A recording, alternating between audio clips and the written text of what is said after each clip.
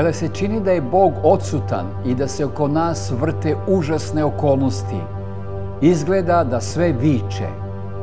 Bog nije ovde, a ako jeste, sigurno ga nije briga. Poštovani prijatelji, moramo postati ljudi koji traže dokaze o Božoj blizini. Možemo ih potražiti u stvaranju, u prijateljima, hrišćanima, sa kojima delimo veru u Boga i načine obožavanja, kao i u svojim životima. Ako su naše oči izvežbane da traže Boga, moći ćemo da pogledamo gore i pronađemo ga čak i u najtamnijim noćima svog života. Evo jednog iskustva vere, a zapisano je u Svetom pismu. To je priča o Sedrahu, Misahu i Abdenagu iz biblijske knjige proroka Danila, treće poglavlje. Trojica mladića su bila veoma mudra i poštovana kao visoko postavljeni zvaničnici na dvoru. Međutim, drugi vavilonski zvaničnici su bili veoma ljubomorni na Sedraha, Misaha i Abdenaga, zato su predložili caru da zapovedi da se svi ljudi poklone zlatnom liku, odnosno kipu, koji je predstavljao njega kao moćnog vladara. Ali ova tri jevreska mladića su odbili da se poklone zlatnom kipu cara Navuhodonosora, vladaru Vavilonskom, najmoćnijeg tog vremena.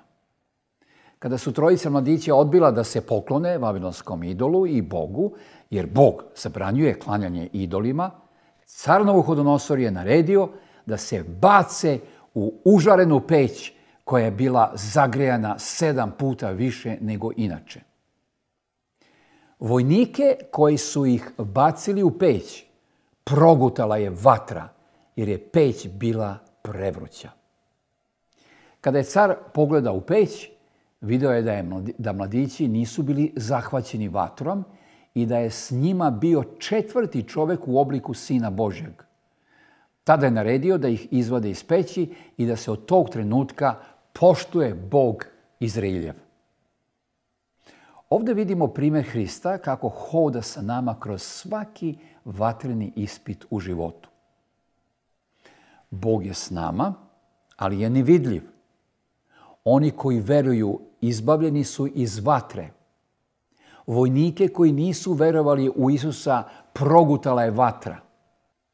Vatra je progutala okove koji predstavljaju vezu sa svetom. Nepokolebljiva vera je vera koja ima potpuno poverenje i oslonac u Bogu, bez obzira na situaciju ili cenu. Bog želi da mu se okrenemo i molimo za bliskost, utehu i pomoć. Krah odnosa je vreme ogromne krize. Neko je rekao, molio sam za snagu, Bog mi je dao poteškoće koje su me osnažile. Molio sam za mudrost, Bog mi je dao probleme koje je trebalo rešiti. Molio sam za hrabrost, Bog mi je dao opasnosti koje je trebalo da savladam. Molio sam za ljubav, Bog mi je dao problematične ljude koji su trebali pomoć. Molio sam za uslugu, Bog mi je dao prilike. Molio sam za mir. Bog je dozvolio oluje u mom životu da bih osjetio njegovo prisustvo. Nisam dobio ništa od onoga što sam želeo, ali sam primio sve što mi je bilo potrebno. Vera je poput mišića. Raste pomoću dizanja tegova. Tegovi su otpor, mentalni izazovi, čekanje odgovora kada se molimo nerazumevanje onoga što nam se nekada e, događa, a mislimo da to nismo zaslužili.